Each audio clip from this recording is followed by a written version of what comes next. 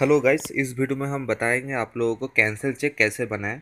Guys, जैसे कि ये मेरा स्टेट बैंक का अकाउंट है तो अगर कहीं पे आप फाइनेंस में कुछ लोगे या फिर कहीं पे कैंसिल चेक चाहिए होगा तो उधर आपको क्या करना पड़ेगा? इधर जो आपका जो कैन चेक है, इसमें आपको कुछ नहीं लिखना होगा, जस्ट ऊपर में कैंसिल लिखना है सी A N C E L लिख के ऊपर एक दाग, नीचे एक दाग देना है, ठीक है? इधर आपको साइन भी नहीं करना होगा, इधर आपको रुपीज़ भी मत लिखिएगा डेट भी मत दीजिएगा, कुछ भी मत लिखिएगा।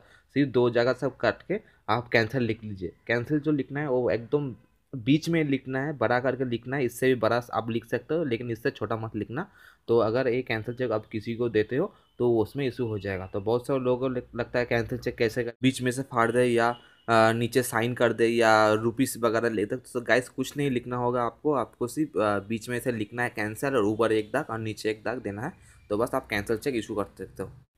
तो thank you so much guys इस वीडियो को देखने के लिए। आप चैनल सब्सक्राइब करके जाना और लाइक करना। और वीडियो को सबके साथ शेयर करना।